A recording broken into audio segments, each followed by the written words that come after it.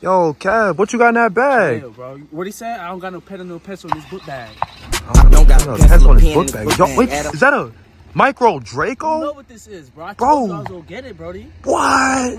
Oh, that's fire. He rocking out with the micro. Listen, Summertime, bitch, we out here with them Draco. that young boy told Oh, come on. Oh my